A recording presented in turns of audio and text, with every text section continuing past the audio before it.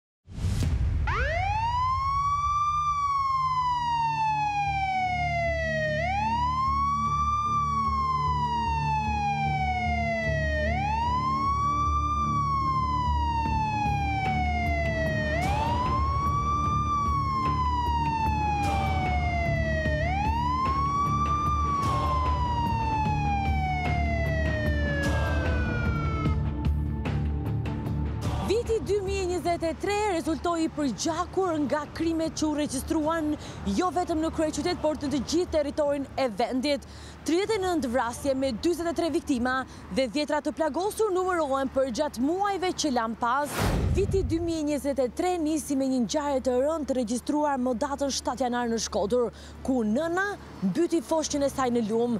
Fatkeqësisht, përpos bandave kriminale përplasjes mes tyre krimi në familje apo konflikte dhe prishjet të pazareve të drogës, përfshirja e të miturve në ngjarje kriminale rezulton gjithnjë në shifra e në rritje. Por muaji i parë i vitit dy mijë e njëzet e tre nuk do të mbyllej vetëm me këtë ngjarje. Më datën njëzet e shtatë janar, krimi brenda familjes tronditi Gramshin. Tetëdhjetë vjeçari Xhevit Sinani vrau me sëpatë bashkëshorten e tij, Zeqine Sinani, dhe vëllain e tij Shaqir Sinani, shtatëdhjetë e dy vjeç. Ndërkohë që muaji shkurt do të trondiste opinionin publik me një vrasje të regjistruar më datën shtatëmbëdhjetë shkurt në Korçë, dinamika e vrasjes së rëndë në Maliq u zbardh brenda pak orëve nga oficerët e Policisë Gjyqësore. Hamdi Bylykbashi, pesëdhjetë vjeç kishte shkuar në shtëpi i dehur dhe ishte konfliktuar me babain e tij. Shtatëdhjetë e shtatë vjeçari Shefki Bylykbashi, pas debateve verbale, pesëdhjetë vjeçari tentoi që ta hidhte babanë e tij në pusin e ujit që kishin në oborrin e banesës, por i moshuari me një çekiç, qëlloi djalin e tij disa herë në kokë, për shkak të plagëve të shumta që mori Hamdiu, humbi jetën në momentin e parë që po transportohej për në spital. Teksa flasim për dyzet e tre viktima me të paktën tridhjetë e dy ngjarje të cilat janë zbardhur, shumica prej tyre janë regjistruar brenda në familje, teksa atentatet Mbeten ende shumica të pazbardhura.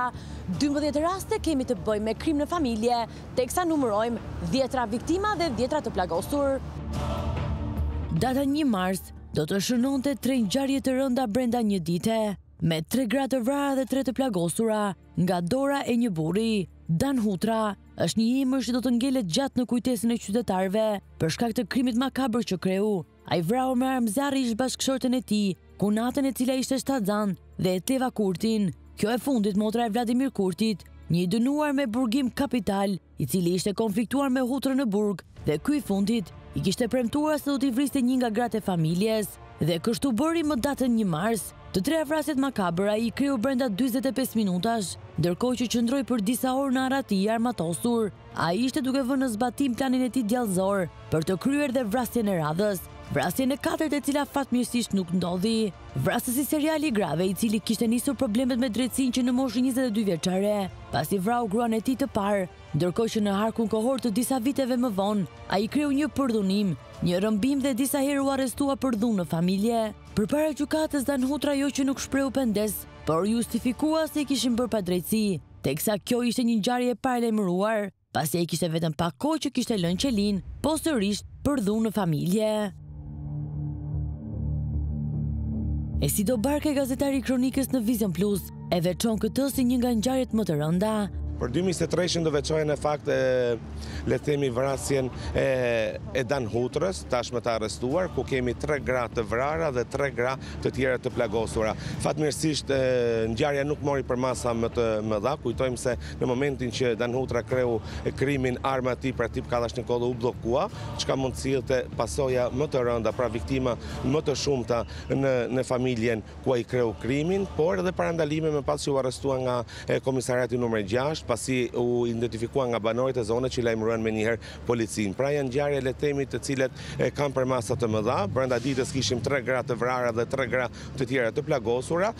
Siç dëshmoi dhe vetë ai pas arrestimit, kishte si synim të vriste dhe persona të tjerë. Fatmirësisht ngjarja më pas u parandalua. Sa i takon pyetjes që sapo më bëtë, a do kishte parandalim në këtë ngjarje në fjalë që unë mund të veçoj pra pikërisht viktimat nga Dan Hutra. Mendoj se po, pasi Dan Hutra ishte një person i skeduar, le të themi, një person problematik, pra një person i cili kishte një aktivitet të theksuar kriminal, i dënuar më përpara edhe për përdhunim, por edhe për vrasje të gruas së parë, dhe pikërisht rehabilitimi brenda burgjeve ose më pas mbikëqyrja që duhet të tregonte policia për këto persona, pra kontingjente krimi do të ishte më e theksuar, në mënyrë që të kishim një parandalim të ngjarjes së rëndë.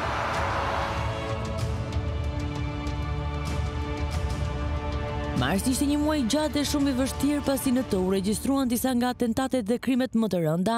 Më datën 12 mars, Mimoza Paja humbi jetën nga breshëria e kallashnikovit, që u zbraz në lokalin e Fation Muratit në Don Bosko, një atentat i cili la pas një viktimë të pafajshme dhe lëndoi shtatë të tjerë, ndonëse objektivi nuk ishte punonjësja e këtij lokali, por pronari, Fation Murati, i cili lokalin e kishte në pronësi me djalin e xhaxhait, u shpal në kërkim, teksa vijonte përplasja mes bandave kriminale. Edhe kjo një ngjarje e cila po të kishte pasur vëmendjen e duhur nga policia, mund të ishte parandaluar. Gazetari i Kronikës në Klan News Besar Bajraktari thekson se policia luan një rol të rëndësishëm në të gjithë strukturat e shtetit, por përfshirja e efektivëve në radhët e grupeve kriminale ka ndikuar në humbjen e besimit të qytetarëve, çka ka sjellë dhe vetëgjyqësinë. Përfshirja e punonjësve të policisë në grupet kriminale sigurisht është mjaft e rëndë, është e patolerueshme që ata në vend që të çojnë deri në fund misionin e tyre për të luftuar krimin, ata bëhen pjesë e krimit dhe herë pas here edhe i favorizojnë. Patjetër që kjo ndikon në fakt jo vetëm në pengimin e punës tek kolegët që nuk janë të përfshirë në grupe kriminale, jua vështirëson atyre punën dhe herë pas here mund të themi që i rrezikon edhe jetën atyre pasi duke i favorizuar grupet kriminale, duke iu dhënë atyre informacione në një farë mënyre i favorizon ata. Megjithatë ka edhe një tjetër ndikim, siç është ulja e besimit të qytetarëve tek puna e policisë. Sigurisht që qytetarët hezitojnë që të bashkëpunojnë me uniformat blu, pavarësisht se herë pas here jepen edhe shpërblime, qytetarët hezitojnë sepse nuk kanë besim tek uniformat blu, duke patur parasysh që individë të caktuar bashkëpunojnë me grupet kriminale dhe Një frikë me të drejtë nga ana e qytetarëve se do të dekonspirohen apo do të dalë emri i tyre dhe hezitojnë që të japin informacione. Patjetër që nëse do të ketë një arrestim dhe evidentim të të gjithë këtyre individëve që janë brenda radhëve të uniformave blu, do të ketë një arrestim të tyre apo një proces vetëpastrimi sa më të drejtë dhe do t'i shkohet deri në fund, atëherë ndoshta mund të themi që do të ringrihet Besimi mes Policisë së Shtetit dhe qytetarëve. Teksa flasim për të paktën tetë ngjarje atentate mafioze të cilat u regjistruan përgjatë vitit dy mijë e njëzet e tre, ende ato mbeten të pazbardhura. Ndonëse Policia e Shtetit vendosi në dispozicion të informacioneve ndihmuese disa dëmshpërblime, me shuma të majme, ende nuk u mund të vendoset në gjurmët e atentatorëve. Kujtojmë që ngjarja në Top Media ishte një ndër ngjarjet më të rënda që tronditi opinionin publik, por edhe atentati në Don Bosko, i cili mori jetët e të pafajshëmve, ende nuk ka arritur që të zbardhet. Ndërkohë më datën njëzet e shtatë mars do të regjistrohej jo vetëm një krim tronditës ndaj një punonjësi sigurie, por rendi dhe siguria ndaj medias tregoi se ka dështuar, njësoj si atentati ndaj Top Medias, ku viktimë mbeti Pal Kola, i cili humbi jetën nga një plumb rikoshe, si pasojë e një prej armëve që u zbraz nga tre atentatorët. Plumbat e tyre nuk u zbrazën vetëm ndaj Top Medias, por ndaj të gjitha mediave dhe gazetarëve në vend, teksa policia vuri në dispozicion një shumë të madhe parash për informacione ndihmuese, Ngjarja mbetet ende e pazbardhur dhe pa autor.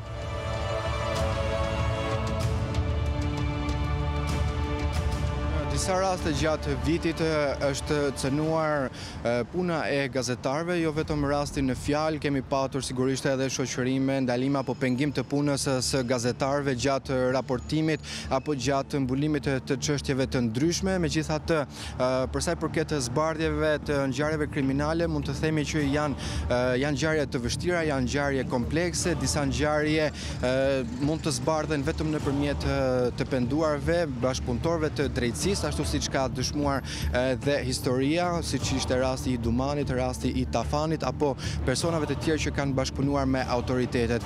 Por në përgjithësi mund të themi që ngjarjet kriminale janë zbërthyer, pasi këta individë kanë bashkëpunuar me prokurorinë e posaçme. Në disa raste kanë bashkëpunuar edhe me policinë, por në pjesën më të madhe krimet i kanë rrëfyer gjatë dëshmisë së tyre të dhënë para para prokurorëve.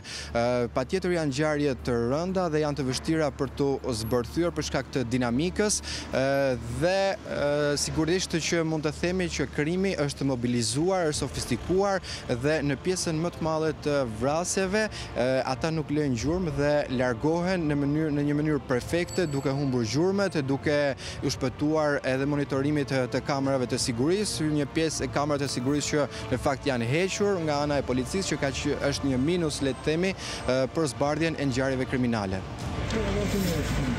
Një tjetër krim do të godiste këtë herë qytetin e Kavajës.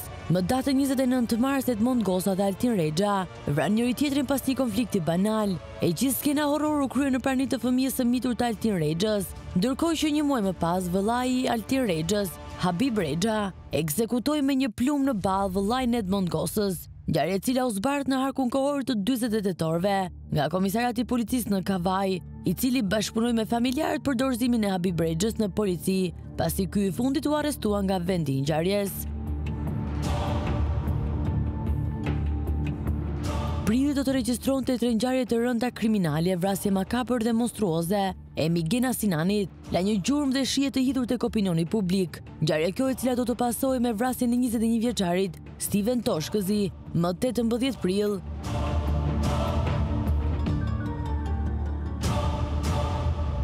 Ardian Nikulaj, një biznesmen lokal dhe me emër në zonën e Shëngjinit, do të ekzekutohej me 7 plumba brenda ambienteve të lokalit të tij.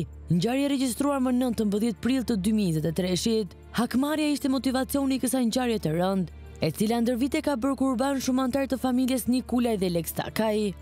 Gjatë vitit që lamë pas kemi patur disa ngjarje kriminale ku kanë mbizotruar kryesisht krimet kundër jetës dhe pronës, kemi patur vrasje për sa i përket konflikteve të çastit të individëve të ndryshëm, kemi patur vrasje sa i takon përplasjeve mes grupeve kriminale, gjithashtu kemi patur Edhe vrasje për sa i përket hakmarrjeve që individë të caktuar apo familje kanë patur me njëra tjetrën. Jo më pak nga rëndësia, por sigurisht e ngjarjet për sa i përket hakmarrjeve mund të themi që janë evidentuar më shumë se sa vrasjet si pasojë e përplasjeve të grupeve kriminale, ku mund të theksojmë vrasjen e Lezhës e ndodhur në nëntëmbëdhjetë prill ku u ekzekutua biznesmeni Ardian Nikulaj, një ngjarje, një konflikt, një hasmëri që ka vijuar për më shumë se njëzet vite mes dy familjeve Lekstakaj dhe Nikulaj në qytetin e Lezhës, siç duket u bë shkak edhe për këtë vit për krimin e radhës. Megjithatë, kjo ngjarje nuk mbeti e vetme pasi u pasua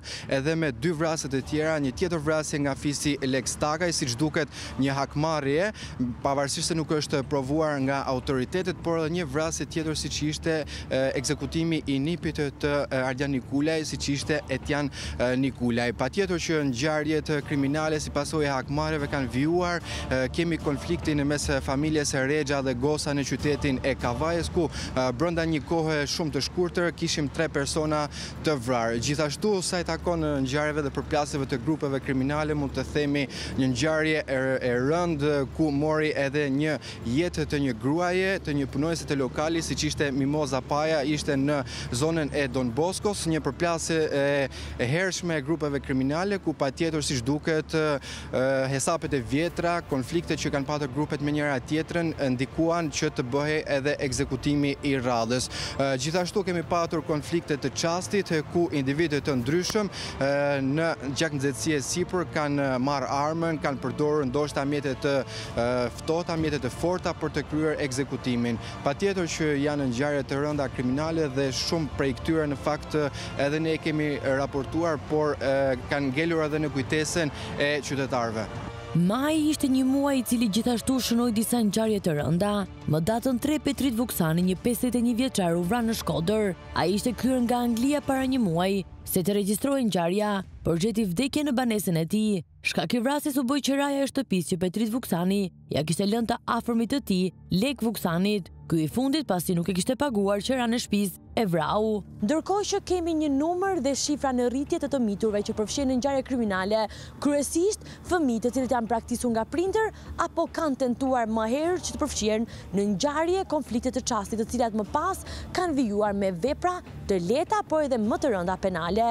Flasim për një vit i cili ka lënë pas viktima dhe të plagosur, mes tyre të mitur, jo vetëm si dëshmitarë apo viktima, por edhe si autorë të këtyre ngjarjeve të rënda. Një pesëmbëdhjetë vjeçar nxënës i klasës së nëntë në Gramsh u vra nga një bashkëmoshatar vetëm pak minuta pasi kishte përfunduar mësimin në datën gjashtëmbëdhjetë maj. Fatjon Bici u qëllua me thikë në zemër, ndërsa i plagosur mbeti kushëriri i tij, policia ndaloi autorin dhe tre të tjerë të përfshirë në konflikt, ndërkohë që shokët e viktimës thanë se sherri kishte nisur për një lojë në rrjetet sociale. Alma Qevani, 24 vjeç, u masakrua me sëpatë nga kunati i saj, Tefik Tashi, 58 vjeç në fshatin Kusarth të Elbasanit. Ngjarja masakër u regjistrua më 17 maj, Gjithçka ndodhi pasi Alma Qevani nuk i hapi celularin pesëdhjetë e tetë vjeçarit, i cili në mënyrë monstruoze mori sëpatën të cilën e fshehu në xhaketë dhe shkoi në arën ku ato po ushqenin delet. Pasi e rrahu me shpulla dhe grushta, ai nxjerr sëpatën dhe i qëlloi dy herë në kokë dhe në qafë duke i thënë, A më njeh ti mua? Unë jam Tefik Tashi dhe jam burrë. Qershori do të regjistronte gjithashtu tre ngjarje të rënda, ku më datën tre një njëzet e katër vjeçar i identifikuar si Albi Muhollari do të shënonte një nga ngjarjet më të rënda të viteve të fundit. Njëzet e katër vjeçari mbyti nënën e tij Zeniate Muhollari me qese plastmasi. Përpara oficerëve të policisë Albi Muhollari pranoi krimin e rëndë dhe tha se meriton të ndëshkohet. Ishte një moment delikat, unë meritoj të ndëshkohem sepse kjo është e pafalshme. Kështu mësohet të jetë shprehur përpara oficerëve të policisë gjyqësore Albi Muhollari, i cili dyshohet se ka qenë në gjendje depresive. mbrëmjen që kreu krimin e rëndë. Më datë 29 qershor 57 vjeçari Gjok Guraj, i cili më herët ka qenë pjesë e policisë së shtetit dhe djali i tij Eduard Guraj, u ekzekutuan pasi iu bë pritë. Dyshohet se autori i vrasjes mund t'i ketë vënë zjarrin banesës së tyre për t'i detyruar të ngjiteshin në fshat, ku kishin ndërtuar pritën. Dy viktimat u vranë teksa ishin duke udhëtuar për në shtëpinë e tyre të vjetër, e cila ishte djegur. Ata u vranë brenda mjetit në një kthesë që nuk kishin mundësi për të reaguar dhe as fushëpamje. Ndërkohë që veç pistës së konkurrencës, pasi babë e bir kishin aktivitet të tregtimit të lëndës drusore, policia ngriti dhe atë të konflikteve për mbjelljen e kanabis sativa, duke qenë se 57 vjeçari Në dy mijë e tetën ka qenë punonjës policie dhe së fundmi mbante postin e kryeplakut të fshatit në Bruçaj. Kjo është Mariola Myrtolari e cila ndërroi jetë më datën një korrik në spital. Ajo u plagos më 4 qershor nga bashkëshorti saj Aleko Myrtolari. Ai e goditi bashkëshorten e tij me thikë dhe më pas u largua nga vendngjarja. Pas dy ditësh ai u vetëdorëzua dhe mori përsipër krimin të cilin e justifikoi se shkak ishte bërë xhelozia. Patjetër, një tjetër dimension kanë qenë edhe këto ngjarje. Fatkeqësisht kemi patur një numër të lartë edhe për këtë vit sa i takon ngjarjeve me bazë gjinore, siç është pra edhe vrasja e grave. Ka patur ekzekutime të ndryshme, ku mund të theksojmë që disa prej këtyre ngjarjeve janë kryer nga persona të cilët kanë patur edhe probleme me shëndetin mendor, ka patur probleme me pijen dhe disa prej ngjarjeve kanë ndodhur në gjendje në gjendje të dehur, autorët pra në gjendje të dehur kanë kryer krimet, pavarësisht se ne kemi, siç e thatë edhe ju, kemi një një ligj të fortë, le të themi, nuk siç duket nuk i parandalon këto ngjarje kriminale.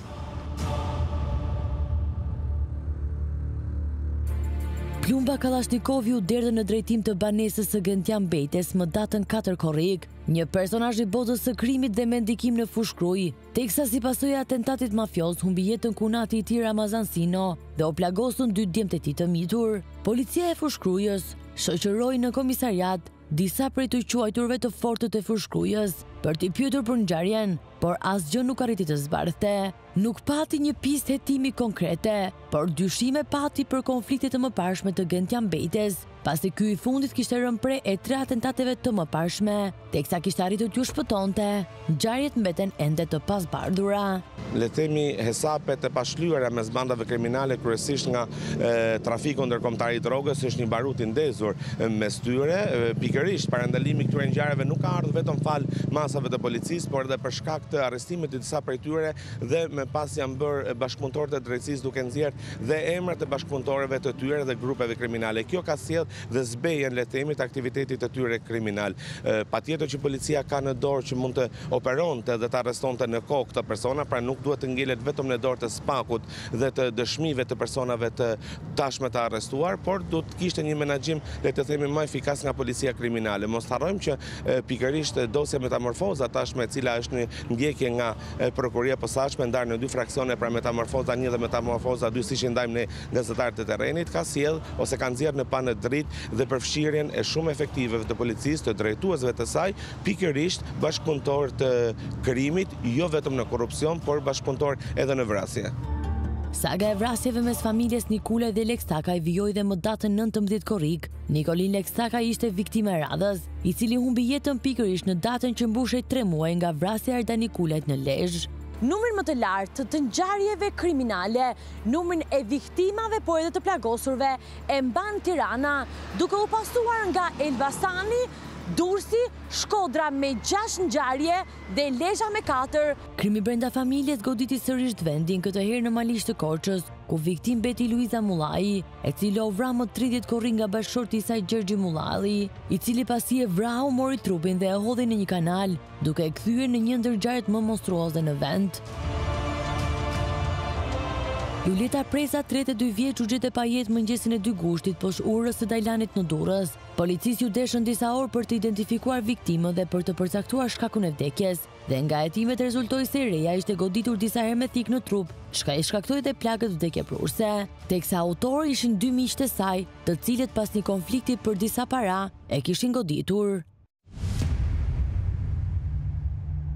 Një borxh i pashlyer u bë shkak i vrasjes së inxhinierit pesëdhjetë e pesë vjeçar Armando Meshau, mesditën e shtatë gushtit në Vlorë. Gjithçka nisi me një përplasje fizike mes Rei Metës, Ky i fundit djali i anëtares së Këshillit të Lartë të Prokurorisë, Nurihan Meta, dhe viktimës Armando Meshau, që më vonë përshkallëzoi deri në vdekjen e inxhinierit, ngjarje e cila u regjistrua brenda ambienteve të një qendre interneti në Vlorë.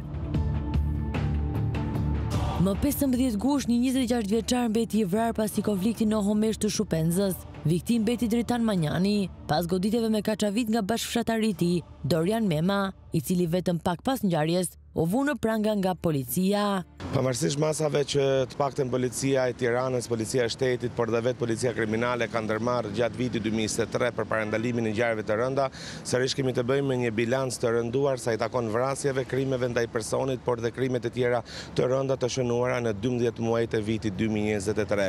Veçojmë këtu vrasjet sa i takon për shkak të konflikteve të hershme mes familjeve ose personave Pra për shkak të hakmarrjes, krim në familje, sërish situatë e rënduar sa i takon shifrave ku sërish femrat kanë qenë viktima e dhunës dhe e përdorimit të armëve të zjarrit pikërisht nga bashkëshortët ose nga ish bashkëshortët e tyre, por nuk kanë munguar edhe ngjarjet kriminale përplasje mes bandave.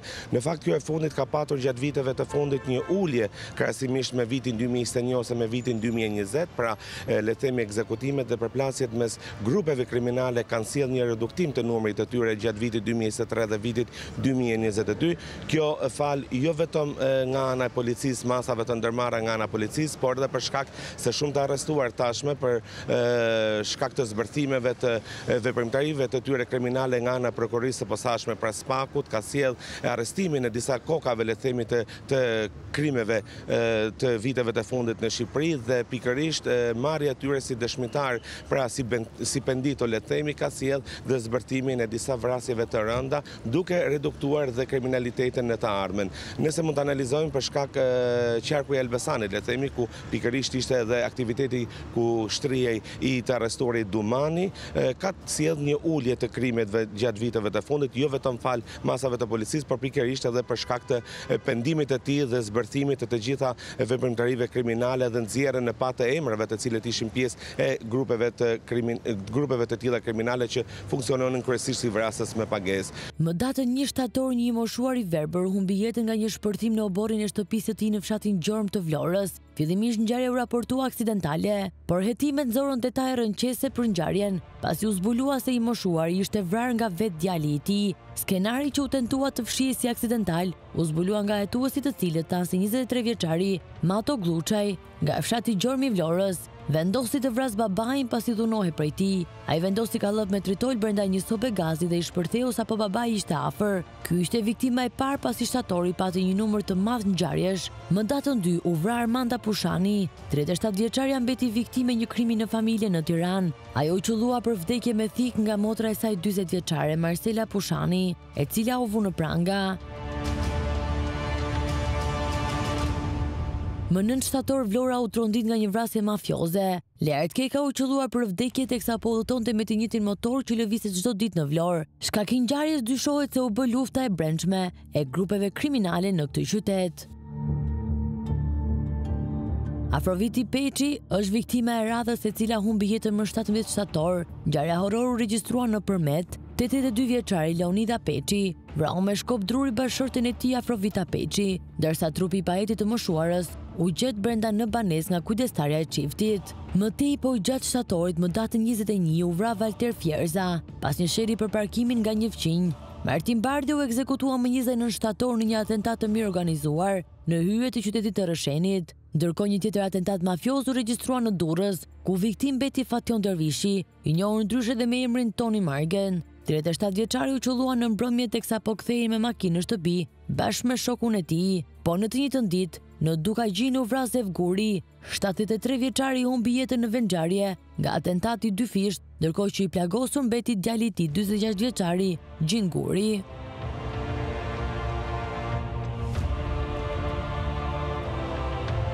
Tetori regjistroi një ngjarje tjetër të rëndë, këtë herë krimi goditi Shkodrën. Ndonëse fillimisht u raportua për një ngjarje aksidentale, u zbulua se ishte krim, kur u raportua për një trup të pajetë i cili u gjet në fshatin Boks në një kanal. Fillimisht u mendua se ishte vdekje natyrale, por nga këqyrja e kufomës, rezultoi se shtetasi Musa Bajraktari është vrarë nga fqinji i tij i cili e goditi me sëpatë. Autori i dyshuar, shtetasi Xhemal Zeqiri, u arrestua nga Policia Vendore e Shkodrës.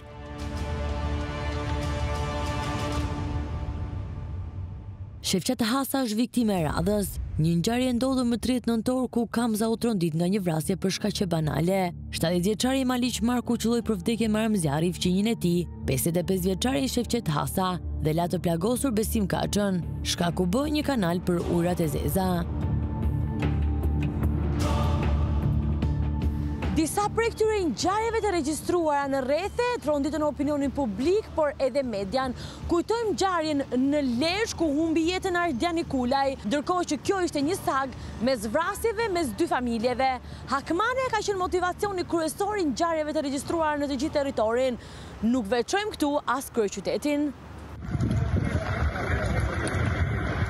Ndërkohë hakmarrja do të vijonte mes fisit Nikulaj dhe Lekstakaj këtë herë viktimë ra Entjan Nikulaj, djali i xhaxhait të Ardian Nikulajt. Atij iu bë pritë dhe u ekzekutua nga autorët ende të paidentifikuar, të cilët zbrazën kallashin duke lënë të vdekur një tjetër anëtar të familjes Nikulaj. teksa numërohet si vrasja e tretë brenda vitit.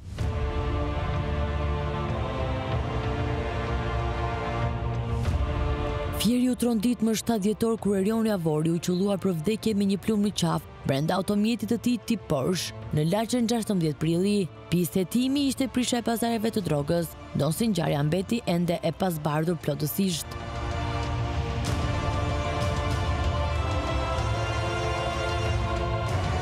Po në momentin që një drejtues ose një shef komisariati, siç tashmë ka rezultuar, bëhet palë me grupet kriminale dhe arrin të japi dhe të siguroj dhe mjete për të kryer vrasjen për të ekzekutuar mes tyre bandat pra rivale me njëri-tjetrin, patjetër që këtu lë për dëshiruar puna e policisë. Në momentin që një shef komisariati bëhet shofer personal i një kontingjenti të krimit, i baronit të drogës siç ishte në zonën e Fushë-Kuqes, por edhe bashkëpunon edhe në vrasje, atëherë kuptohet që policia në çfarë gjendje mund të ishte për të parandaluar këto ngjarje, por nga ana tjetër bëhet vetë palë me krimin. Kuptohet që nuk duhet të Përifrazojmë dhe të fusim të gjithë në një thes, siç thuhet dhe shprehja popullore, nuk është se të gjithë efektivët janë të tillë, patjetër që janë disa elementë të cilët kanë njollosur, le të themi, uniformat blu, kjo nuk do të thotë që e gjithë policia pra është e keqe dhe është pro krimit. Patjetër që duhet një punë më e theksuar, mendoj që duhet të nisë dhe procesi i vetëpastrimit që tashmë ka nisur brenda rradhëve të policisë, duke përjashtuar të gjithë personat e lidhur dhe të inkriminuar pra me krimin. Patjetër që do të sjellë, le të themi, një polici më të pastër, e cila do të godasë më krimin aty ku duhet, duke shkëputur dhe lidhjet pikërisht të krimit brenda rradhëve të policisë. Dhe vrasja e fundit për vitin dy mijë e njëzet e tre është ajo e cila jo vetëm do të mbahet mend gjatë në kujtesën e shqiptarëve, por do të mbetet në histori. Për shkak të dinamikës së saj, Arben Lleshi u ekzekutua me tre plumba teksa vuante dënimin në burgun e Peqinit, i cilësuar si një ndër burgjet me siguri më të lartë në vend. Sokol Mjacaj, një i burgosur me dënim kapital, mundi të cënonte sigurinë dhe rendin, jo vetëm në vend por edhe në burg, teksa siguroi një armë zjarri me të cilën vrau Arben Lleshin dhe plagosi dy të burgosur të tjerë, për disa orë terrorizoi punonjësit e burgut, teksa kërkonte garanci për jetën e tij. Nga grupi hetimor pati dyshime se kjo ishte një vrasje e paguar dhe e porositur nga jashtë, pasi Arben Lleshi ishte dënuar për vrasjen e bashkëkombësit të tij Agim Hoxha në Angli. Ngjarje e regjistruar më dhjetë prill të dy mijë e trembëdhjetë-s, kur Arben Lleshi, në atë kohë njëzet e shtatë vjeç, i njohur si shpërndarës droge në Angli, dogji të gjallë brenda në makinën e tij Agim Hoxhën, njëzet e nëntë vjeç, ngjarje e cila la pas gjithashtu disa viktima. Viti dy mijë e njëzet e tre rezultoi i përgjakur duke gjunjëzuar krimin këmbëkryq jo vetëm në kryeqytet ku mban edhe numrin më të madh të vrasjeve dhe viktimave, por në të gjithë territorin e vendit. Tridhjetë e nëntë vrasje me dyzet e tre viktima dhe dhjetra të plagosur janë regjistruar përgjatë gjithë muajve që lamë pas gjatë vitit dy mijë e njëzet e tre. Krimi i organizuar, përplasje mes bandave, krimi në familje, por edhe konfliktet e çastit nuk kursyen Me plumbat as mbi jetët e të pafajshëmve.